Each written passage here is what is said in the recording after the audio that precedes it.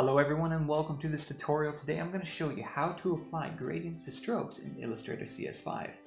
Now as you may know this feature was added in CS6, so it's a bit hard to do in CS5 but indeed it is possible as you see in these pictures right here.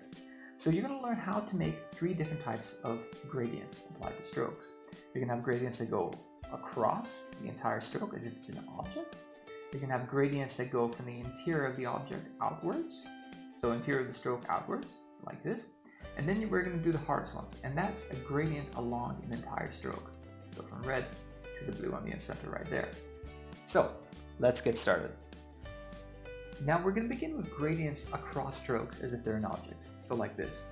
The first thing we always have to do is we have to click our object, and this is just a spiral. You can create one by clicking on this box right here and going spiral 2. And it has a stroke of 18. And the first thing we do, we go to Object and Expand, and you need to expand the stroke. And this makes the stroke into an object. This is the workaround that you have to do in CS5. Now once this is an object, it's really simple. All you have to do is either eyedrop a gradient like that, or use your gradient tool and add whatever gradient you want to your object, just like that, which adds a pretty cool effect. So that's pretty simple. Now, the next bit is gradients that go from the interior of a stroke outwards. And this is also fairly easy. Again, you start by clicking on your object, you go to Object, Expand, expand the stroke as you always have to, press OK. Now, the color that you see on the inside, this is the color that's going, this is going to be one of the colors that you're gonna, going to go from. So we're gonna start with a red, we'll blend it to a black or something. So all we do is we select our object, we go from Effect, Stylize, and then Inner Glow. And this box will pop up here. Now usually this will be stuck on a mode called Screen, or by default. If we press Preview, and we select the color, whatever color we want this red to change to, let's say, I don't know, a green, so it's quite striking. Okay, you see the color doesn't come out right. So you have to change this mode to normal. if you change it to normal, turn on preview, suddenly our green color is there. Now we can reverse this by making the green go to the red, or the red going to the green by switching from center to the edge. And the amount of gradient is controlled by the blur that you have here. Also your opacity, you want it to be 100% to get this full color. If you drop it, you see that the color slightly fades. So we keep it at 100%. And the blur, we can just play with it of course, if it's very high, you get the full green, but if it's very low, you get a smaller gradient. And you would just adjust that manually to whatever you want. And there you go. Now, of course, there's always going to be a little bit of glow at the edges, but this is the best workaround that you can do in Illustrator CS5. Now, the last type of gradient is the most difficult, and that's a gradient along the entire stroke, from the beginning to the end of the stroke. What we do is we select our object, go to object again, expand the stroke, and now we have expanded our stroke. Now the next thing we do is we use the knife tool. The knife tool is right behind the eraser tool. We just click and hold here and go to the knife tool. And we're gonna cut this up into roughly eight pieces. Uh, aim for eight, as you can. And what we wanna do is we wanna cut it where we have the stroke following a simple direction. So either this way or up that way or this way or that way. But so long as it follows the direction. So we're gonna cut it like this. So now we have roughly a flat surface here, this to here, and that's two cuts, so that's three segments. That's three cuts, four cuts, five cuts, six cuts, seven cuts, and 8 cuts. So now we have 9 segments. After we do that, we select our object, right click and ungroup. And now we've effectively broken our object into little pieces. Now, after doing this, we're going to create our gradient just by selecting two colors and I have a gradient already pre-made right here. I'm going to move it down here. And we're going to select our gradient and go into the gradient panel.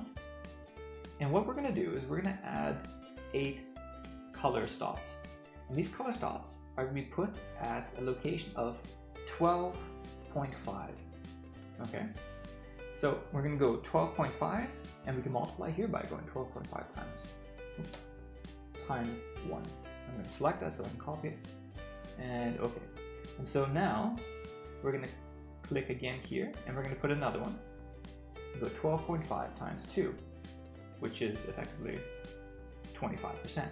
And what this does, it gives us eight different color gradients basically, like mini gradients across this entire uh, color scheme. So we click again, 4.5 times 3, and we just keep doing this. 5 times 4, 12.5 times 6, oops, that's 12.5 times 5 there, 12.5 times 5, go 12.5 times 7, and there we go. Now we have all these stops. Good. Now having done that, we're going to apply this gradient to all of these, those shapes individually by using these stops right here. So we select our first object right here, and we press I, and we click on our object there.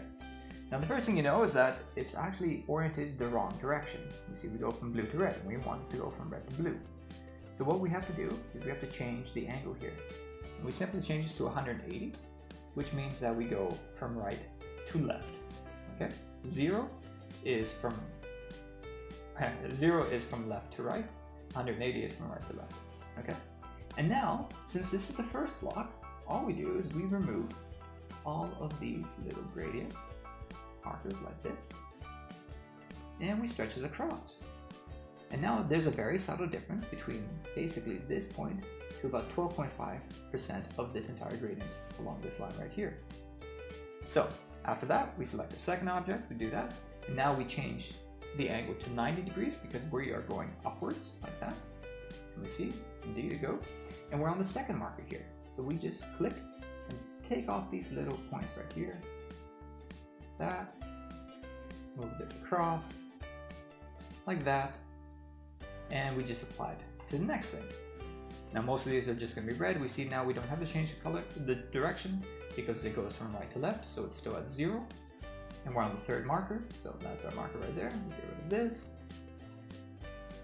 Click and drag. And yes, this is an annoying process, but this is the way to do it. So we select this object, again apply it, and here to make going down, we go negative 90. Okay, and then this is the fourth marker right here, so we get rid of all these. And we see now the color is starting to change. It's getting a bit darker. Oops. That. And I think we already start to see the blues in the next. Go that. This should be the fifth marker. So one, two, three, four, five. So get rid of all those. That. That and we want to change the angle to 180. And now we go into here. Once again, this is the six markers. One, two, three, four, five, six. Move all these. Down there, down there. Across. And it's moving upwards. So we change the angle to 90. Click here. This is the seventh. So this would be 8, that's 7, so we get rid of all these. See, now we're in a proper purple, move it across. And the direction is correct at 0. Select the last bit. This is our 8, this is our marker right here. So we get rid of all of them.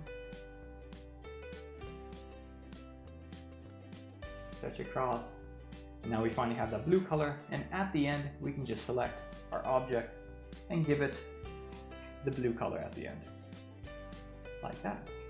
Ah, and I need to change the angle on here. You see, this doesn't work. So we go minus 90 right there. And there you have it. You have an entire gradient going along an entire stroke, just like that. So it is possible to do it in CS5. It's a little difficult, but it is, you can do it. And that's it. I hope you enjoyed this tutorial. If you have any comments, questions, or tutorial requests, please write them in the comments below. If you liked the video, hit like. If you want to see more, hit the subscribe button and check out our other videos. And as always, have a great day.